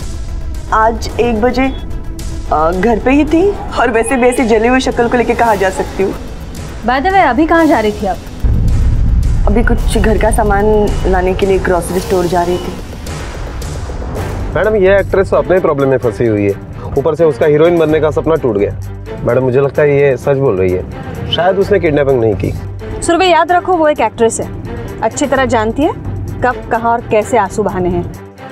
और उसका एक्ट्रेस बनने का सपना टूटना ही तो संदीप से बदला लेने का मोटिव हो सकता है। एक काम करो ये सारिका के भी कॉल रिकॉर्ड्स निकलवाओ। ओके मैडम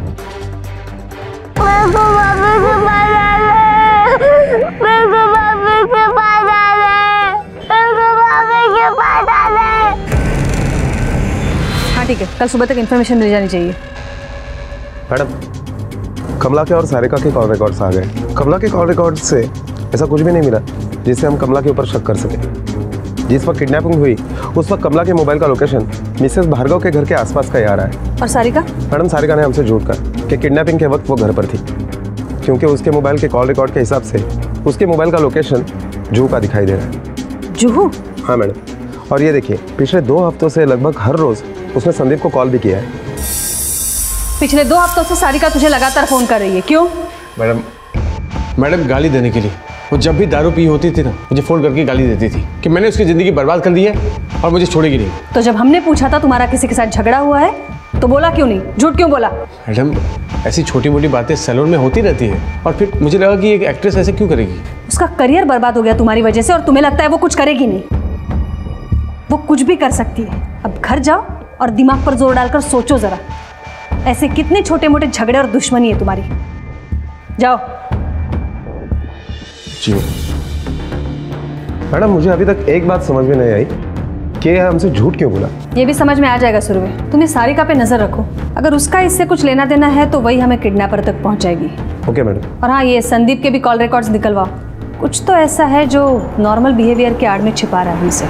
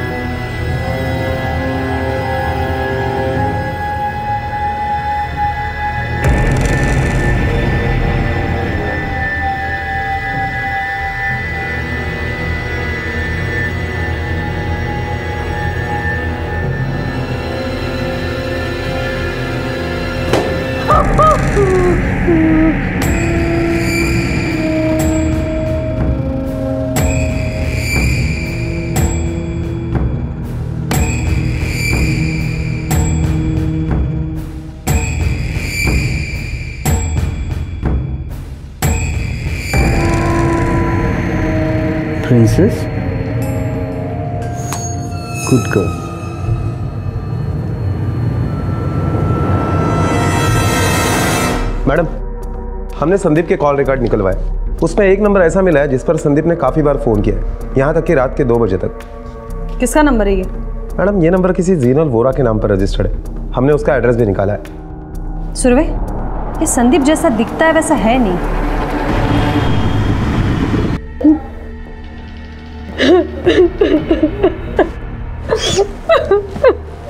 मेरा बच्चा। कुछ नहीं होगा हमारे ऋषभ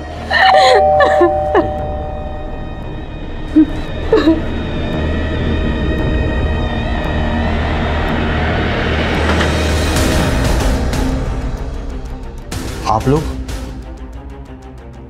ऋषभ मिल गया क्या? नहीं मिला नहीं है लेकिन मिल जाएगा। फ़िलहाल आपसे पूछताछ करनी है। मिस्टर नाइक हमें बताइए ये जीनल वोरा के साथ आपका क्या रिश्ता है?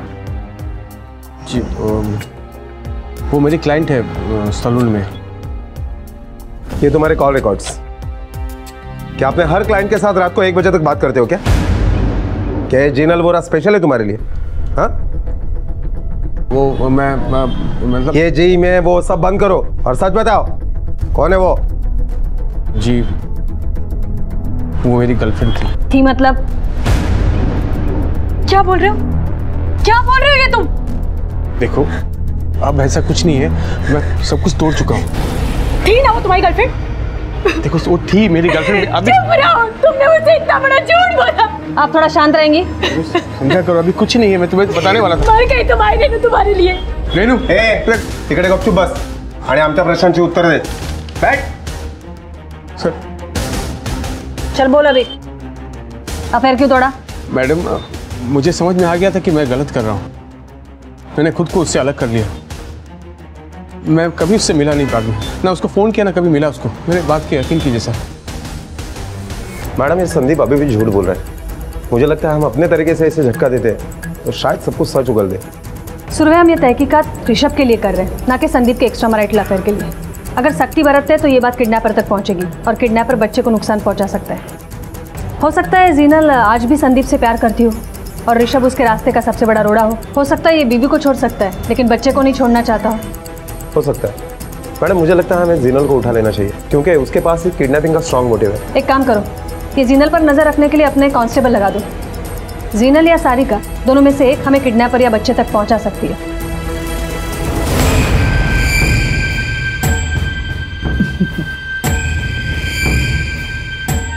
मुझे बताओ ये खाना आपके लिए कौन लेके आया है? मम्मा! गुड गर्ल ये लो। आपको पता है ना मैं नॉनवेज नहीं खाती। फिर भी आप हमेशा यही क्यों लाती हो? क्योंकि मम्मा को नॉनवेज बहुत पसंद है। आखिर तुम मेरा अंश हो। मेरा हिस्सा हो इसलिए तुम भी वही खाओगी जो मम्मा को पसंद है।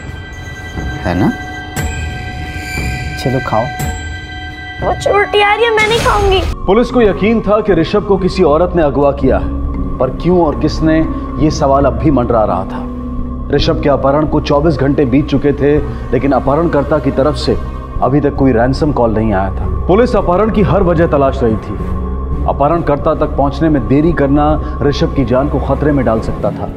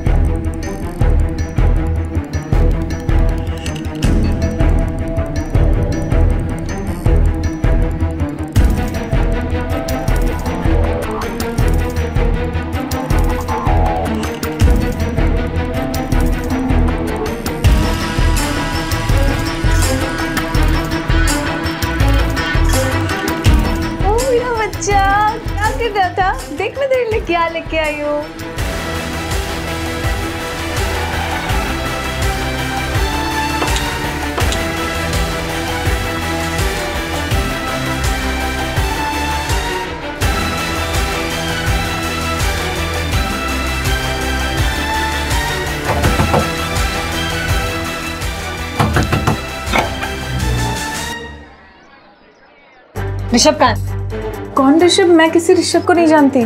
सुरभि हाथ भगा आप क्या ढूंढ रहे हैं? बताइए तो सही। मैडम बच्चा यहाँ है।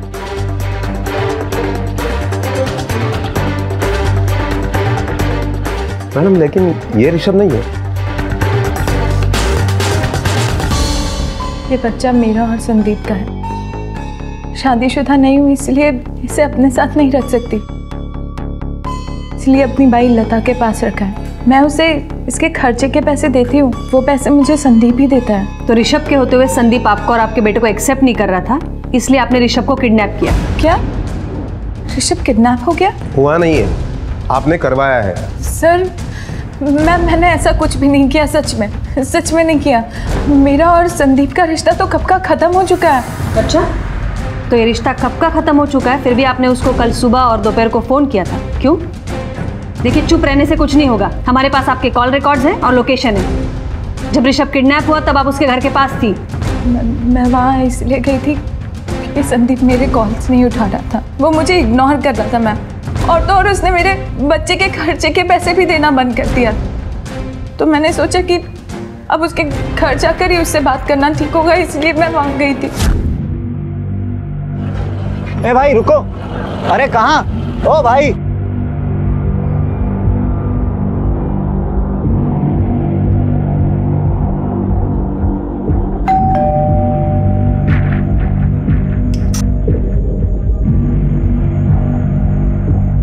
इस घर में कोई नहीं है। आपको किससे मिलना है? जी वो रेनू अभी भी नीचे गई है और संदीप भाई सब काम पे गए हैं। आप मुझे अपना नाम बता दो। वो लोग आएँगे तो मैं उन्हें बोलूँगी। नहीं नहीं ठीक है थैंक यू मेरी बात का यकीन कीजिए मैम मैंने ऐसा कुछ नहीं किया मैंने ऋषभ के साथ कुछ नहीं किया। ठीक है आप जा सकती हैं। लेकिन हमारे परमिशन के बगैर शहर से बाहर मत जाइएगा। सुरवे ये संदीप ने जीनल के साथ जो कुछ भी किया है, उसके बाद तो जीनल के पास स्ट्रांग मोटिव है संदीप से बदला लेने का। और मेरे ख्याल से उसके लिए उसने ऋषभ को चुना है। मुझे लगता है ये उसने खुद नहीं किया है, किसी और से करवाया है। एक काम करो, ये जीनल की बाई लता, उसकी इन्फॉर्मेशन निकालो और रेनू के पड़ोसन से पूछताछ करो। ये जीनल सच बोल रही है झूठ? ये जीनल बोरा के पास कब से काम कर रही हो? साहब मेम साहब के यहाँ बाबा पैदा हो गया है ना तब से काम कर रही हूँ। तुम्हारी मेम साहब का एक दोस्त है संदीप जिसका बेटा गायब हुआ है। जानती हो संदीप को? हाँ जानती हूँ ना साहब। एक नंबर का चाप्टर आदमी है। मेम साहब को फंसाया और भाग गया। अच्छा हुआ। जैसा करेगा वैसा ही भरेगा ना साहब। मेम साहब से हमदर्दी है इस वजह से या पैसों के लिए तुमने ऋषभ को उठाया? नहीं साहब मैंने किसी को नहीं उठाया साहब। मैंने कुछ भी नहीं किया। कल दोपहर को एक बजे कहा थी तुम? सब बाबा के साथ घर पे ही थी। तुम्हारा मोबाइल नंबर दो। हाँ nine eight two two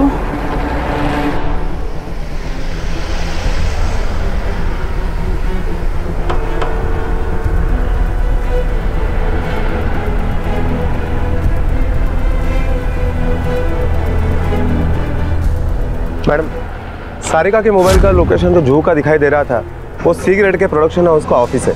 और इंक्वायरी के दरमियान पता चला है कि उस प्रोड्यूसर से सारिका का अफेयर चल रहा है। इसका मतलब है सारिका अपना अफेयर छुपाने के लिए हमसे झूठ बोल रही है। अच्छा ये झीनल के बाई के बारे में कुछ पता चला हाँ मैडम लता के मोबाइल का लोकेशन सौरभ के किडनैपिंग के वक्त लता का घर का ही है और नीतू के पड़ोसियों से जब हमने पूछताछ की तो उन्होंने बताया कि जीनल को संदीप का डोरबेल बजाते वक्त उन्होंने देखा था सुरभि या तो हम गलत दिशा में तहकीकात कर रहे हैं या फिर ये संदीप और जीनल अब भी हमसे कुछ छुपा रहे हैं अगर इन औरतों में से किडनैपिंग की जगह पर कोई नहीं था तो फिर वो कौन औरत हो सकती है जिसने ऋषभ को किडनैप किया हो को भाभी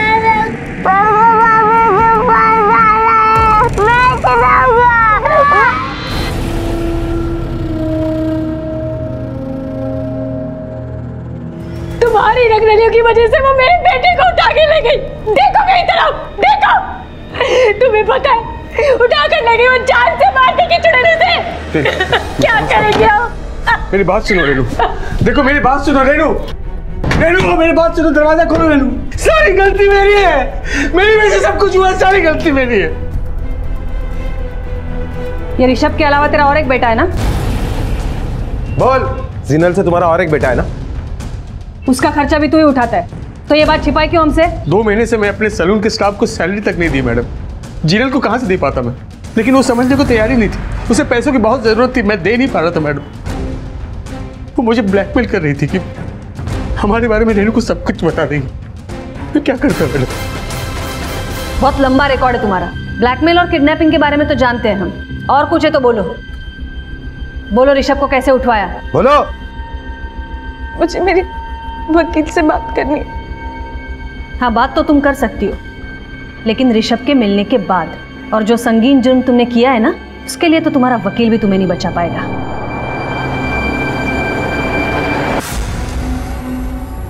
संदीप संदीप क्या हुआ? यहाँ मिला मुझे।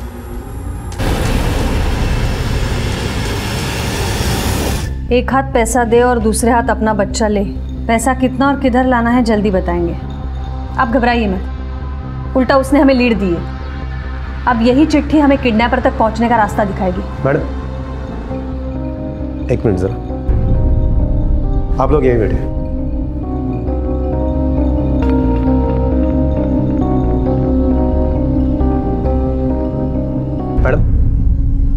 मैंने उस बिल्डिंग के विजिटर रिकॉर्ड चेक किए लेकिन उसमें ऐसी कोई भी एंट्री नहीं मिली जिस पर यह शक किया जा सके कि उसने वो चिट्ठी वहाँ रखी हो। लेकिन हाँ कमला उस वक्त बिल्डिंग में आई थी काम करने के लिए लेकिन वो भी उस विंग की तरफ़ गई नहीं। सुरभि अगर बाहर का कोई इंसान आया नहीं है तो ऐसा तो नहीं है कि घर के किसी इंसान ने चिट्ठी दरवाजे पर लगाई हो? मैडम कहीं आपका शक इन दोनों के ऊपर तो नहीं?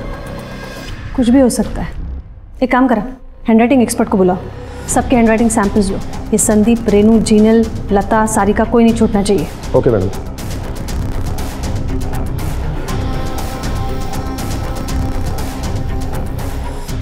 साहब मैंने ज़्यादा पढ़ाई नहीं की है। मुझे लिखना पढ़ना ज़्यादा आता नहीं। जितना लिखना आता है उतना लिखो।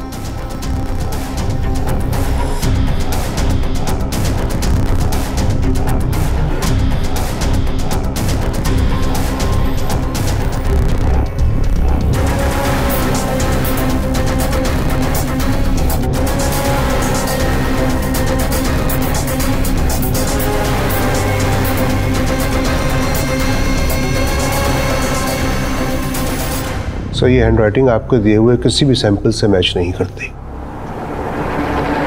देखिए जितनी देर होगी खतरा उतना ही बढ़ता जाएगा और हमारे पास ज़्यादा वक्त नहीं है। सो so, प्लीज़ आप दोनों याद करने की कोशिश कीजिए। आपका कभी भी किसी के साथ भी कोई झगड़ा हुआ था या फिर दुश्मनी है?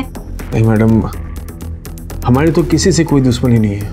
पर हो सकता है कि रेणु के पापा की किसी से दुश्मनी हो और उसकी वजह से हमारे बच्चे को तुम अपनी करतूतों का इल्ज़ाम मेरे पापा पे लगा रहे हो? और तुमने ऐसा सोचा भी कैसे?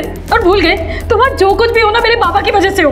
ये तुम क्या बोल रही हो? सही बोल रही हूँ। मतलब क्या रहा है ये सब। ये झगड़ा करने का वक्त नहीं है। हर एक सेकंड पे खतरा बढ़ता जा रहा है। हमें हर एक पॉसिबिलिटी चेक करनी है। अब आप बताएँगे आपके फादर कहाँ मिलेंगे? क्या? ऋषभ किडनैप हो गया? और किसी ने मुझे बताया तक नहीं? आपके दामाद का कहना है कि आपकी किसी दुश्मनी की वजह से ऋषभ को किसी ने किडनैप किया है। हमारे बिज़नेस में दुश्मनी होते रहती है मगर वो दुश्मनी हम बिज़नेस में ही निकालते हैं। ऐसे नहीं होता कि किसी के घर वाले को किडनैप करने लगेंगे? ये आपके दामाद के बारे में क्या कहना है आपका? उसके बारे में क्या कहना है? जो है सो है। नसीब खोटा है उसका। और आपकी बेटी रेनू उसके बारे में? रेनू के बारे में तो वो एक अच्छी लड़की है? मॅडम मला एक गोष्ट खूप खटकते. इतना रईस आदमी होने के बावजूद भी उसने अपनी बेटी की शादी संदीप जैसे मिडिल क्लास लड़के के साथ क्यों की? सुरभि खटकने वाली बात एक नहीं दो है. एक ये रेनू के बारे में पूछने के बाद यशवंत इतना बेचैन क्यों हो गया था? और दूसरी जब रेनू को दरवाजे पर चिट्ठी मिली किडनैपर की तब संदीप कहाँ था? मैडम मैंने उससे पूछताछ की तो उसने कहा कि उस वक्त वो बाथरूम में था। सुरभि, हो सकता है बेशक चिट्ठी किसी और ने लिखी हो। और रेनू ने शौक होने का नाटक किया हो हम सबको दिखाने के लिए। कुछ तो ऐसा है इस रेनू के बारे में जो हमें पता करना पड़ेगा। और इसके लिए हमें उसके पास में झांकना पड़ेगा। एक काम करा सुरवे ये रेनू के सारे रिश्तेदार, कॉलेज के दोस्त, यशवंत के आजू बाजू रहने वाले, सबसे पूछताछ करो। हो सकता है इस किडनैपिंग के तार आज नहीं, कुछ साल पहले ही बिछे हों। हो सकता है। पुलिस ने रेनू के पिता के घर में रेनू के बचपन से काम कर रहे स्टाफ से पूछताछ की। उसके कॉलेज में जाकर उसके अतीत को खंगाला, जहाँ उन्हें रेनू के कॉलेज के दिनों की करीबी दोस्त के बारे में पता चला।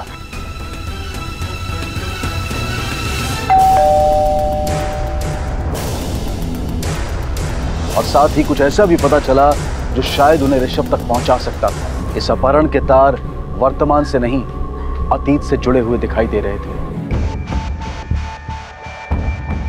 आइए।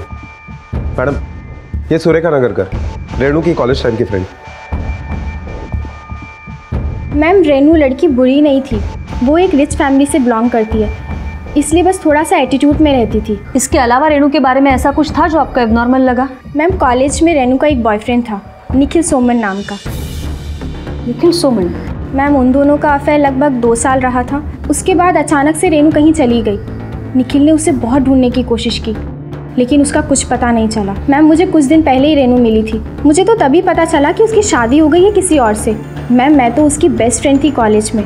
फिर भी उसने मुझे अपनी शादी में नहीं बुलाया। ये निखिल सोमन कहाँ रहता है? मैम कॉलेज के बाद तो हम कभी नहीं मिले। इसलिए मुझे नहीं पता कि वो कहाँ रहता है।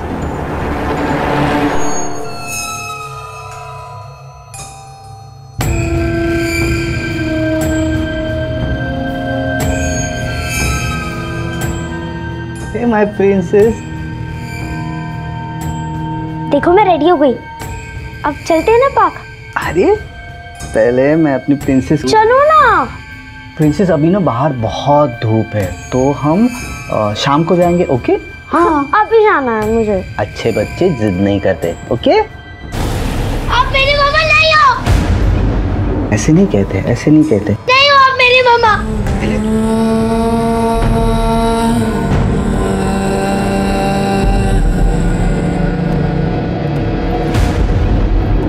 मिसेस रेनू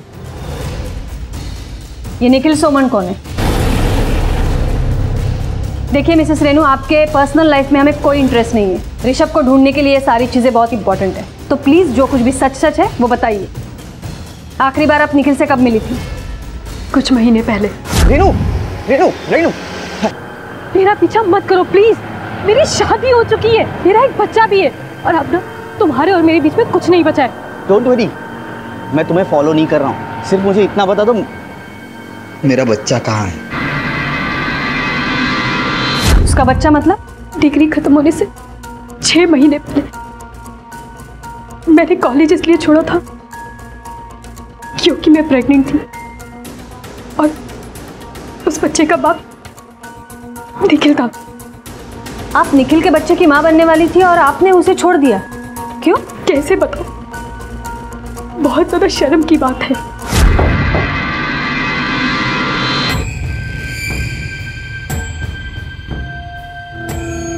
वो एक आदमी के साथ साथ एक औरत बन के भी रहना चाहता था।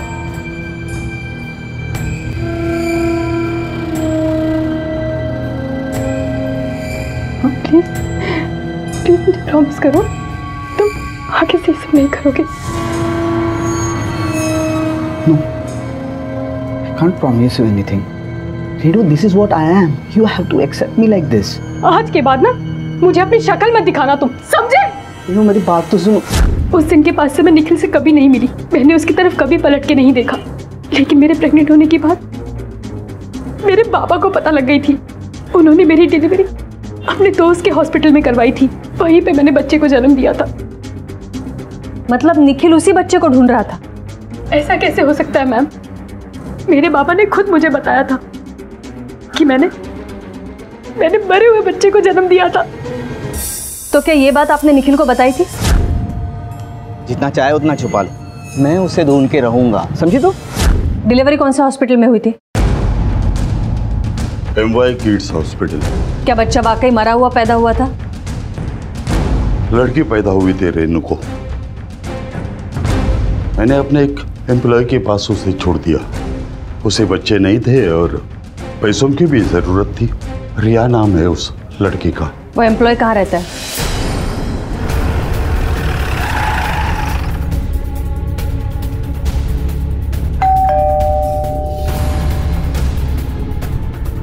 रिया कहाँ है? मैंने पूछा बच्ची कहाँ है? मैम वो रिया मैंने पूछा बच्ची कहाँ है? मैडम वो तीन महीने पहले किडनैप होगी मैडम। क्या? तो बच्ची की किडनैपिंग की कंप्लेंट लिखवाई थी पुलिस में? नहीं मैडम। बच्ची किडनैप होती हो तुम लोग पुलिस में कंप्लेंट तक नहीं लिखवाते हो। यशवंत को बताया था? यशवंत साहब हमें बच्ची पालने के पैसे दे रहे थे। अगर बताते तो पैसे आने बंद हो जाते। कमाई का एक ही ज़रिया था मैडम। बच्चा किडनैप होते हुए देखा था किसी ने? हाँ मैडम मैंने देखा था। किसने उठाया था? आदमी था औरत थी।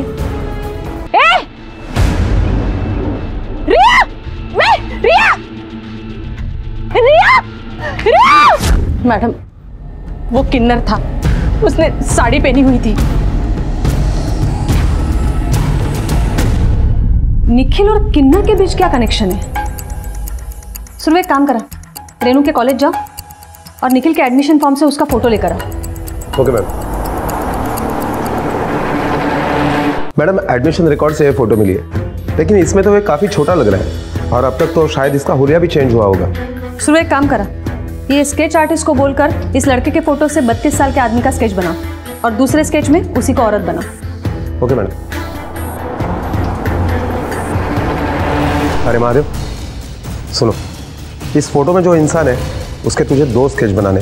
एक, ये बत्तीस साल का होगा, जब कैसे दिखाई देगा? वैसा? और दूसरा, औरत के बेस में।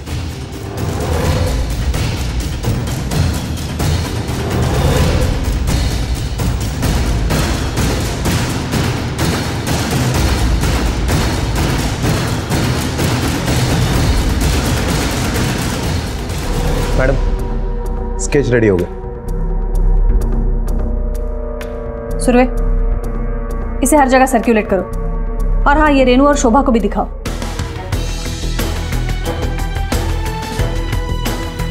ये निखिल ही है। निखिल? ये निखिल है कौन? और इंस्पेक्टर साहब आप ये स्केच आप मेरी पत्नी को क्यों दिखा रहे हैं?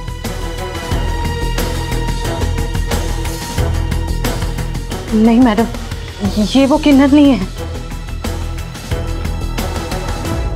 सुरवे ये निखिल को औरत बनने का शौक है, लेकिन वो किन्नर नहीं है। और इस तरह के लोग जब रास्ते पे आते हैं तो उनके साथ हँसी मज़ाक होता है। हो सकता है उसके इसी शौक की वजह से उसका किसी के साथ पंगा हुआ हो और पुलिस में कोई केस दर्ज हुआ हो। एक काम करो, सारे स्टेशन में अलर्ट करवा दो। इस तरीके का कोई भी केस अगर दर्ज हुआ है तो हमें डिटेल्स भेजें। Okay, ma'am. निखिल की जानकारी के साथ पुलिस की रिया और ऋषभ को बचाने की उम्मीद बढ़ चुकी थी। उन्हें लग रहा था कि दोनों अपहरण निखिल नहीं किए हैं, लेकिन हकीकत कुछ और थी। निखिल के पास तो सिर्फ़ रिया थी तो फिर ऋषभ कहाँ था? क्या रिया और ऋषभ की किडनैपिंग अलग अलग थी, या निखिल और उस किन्नर में भी कोई कनेक्शन था? और तभी इन्वेस्टिगेटिंग टीम को एक पुलिस स्टेशन से, निखिल के खिलाफ दर्ज हुए एक केस से उसके बारे में कुछ और जानकारी मिली। मैडम मालवाड़ी पुलिस स्टेशन में निखिल के खिलाफ एक कंप्लेंट दर्ज है और जिसमें उस पर आरोप है कि औरत के भेस में उसने पब्लिक प्लेस में झगड़ा भी किया और मारपीट भी की। गुड फाइनली हमारे हाथ लग ही गया ये। एड्रेस क्या लिखा है कंप्लेंट में उसका?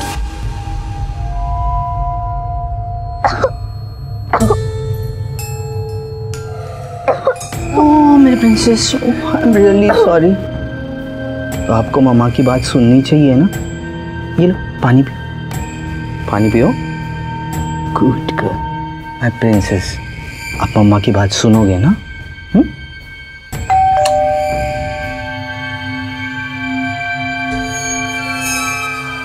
बेटी कोई आया है दरवाजे पे? हाँ? मैं देख के आती हूँ। तब तक तुम यहाँ रेस्ट करो। रेस्ट करो।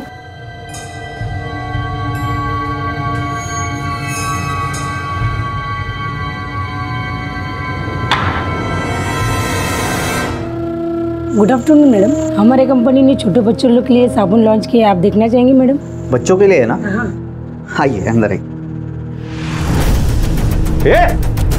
क्या कर रहे officer officer leave me alone officer क्या कर रहे हैं आप? You hurting me come on leave me Riya बेटी ए, कर। डरो मत बेटा हम है ना तुम्हें कुछ नहीं होगा। मेरी बेटी है रिया। रिया तो मिल गई है। अब ये बता ऋषभ कहाँ है? बता! पाटिल ओके मैडम कौन कौन ऋषभ? रिया मेरी बेटी है साहब। हाँ सुन ये ऐसे नहीं बोलेगा। ले चलो इसको।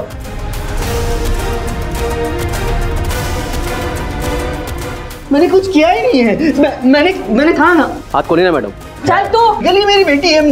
चल चल। चल डरो नहीं डरो नहीं। हम है ना? चल। देखो हम जानते हैं कि तुमने ही ऋषभ को अगवा करवाया है। तो अगर बेटी चाहिए तो बताओ ऋषभ का है। ऋषभ मेरे पास नहीं है। वो बबीता के पास है। कौन बबीता? बबीता एक किन्नर है। बबीता कितनी रोती है रे तू। मैंने कहा ना पैसे दूँगी मैं। मैंने जबान दी है।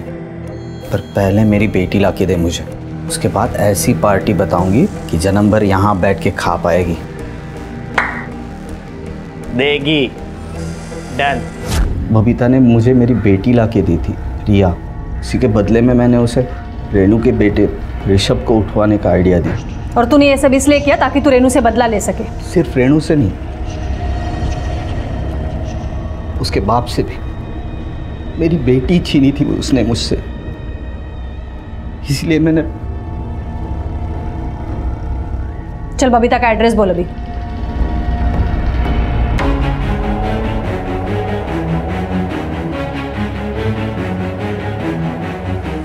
पाटिल कहा थोड़ा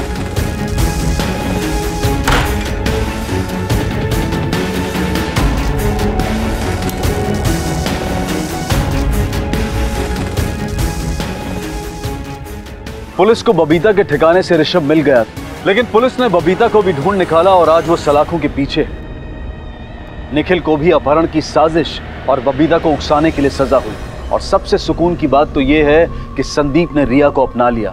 और एक ऐसे स्याह अतीत का अंत हुआ जिसने वर्तमान की जड़ें हिला दी थी। किसी के किए की सजा किसी और को मिली। और ऋषभ बेवजह गेहूँ में घुन की तरह पिसकर अपने बोलने की क्षमता किसी अनजान वजह से खो बैठा। रिश्तों का बनना बिगड़ना जितना आसान दिखता है, उतना होता नहीं है। इसलिए रिश्तों का चुनाव बहुत सोच समझ कर करें, क्योंकि कब अतीत वर्तमान में आकर खड़ा हो जाए, कहा नहीं जा सकता। और जिसका अंजाम कई बार बहुत महँगा हो सकता है। इसी विचार के साथ मैं अनूप सोनी अब आपसे विदा लेता हूँ। फिर मुलाकात होगी अगले एपिसोड में एक और चौंका देने वाले केस के साथ। तब तक अपना और अपने परिवार का ख्याल रखें और देखते रहें, क्राइम पेट्रोल डायल एक शून्य शून्य। सबक एक को, सीख हम सबको। जय क्राइम पेट्रोल के और भी दिलचस्प कहानी देखने के लिए हमारे चैनल को सब्सक्राइब करें और बेल आइकॉन दबाना न भूलें।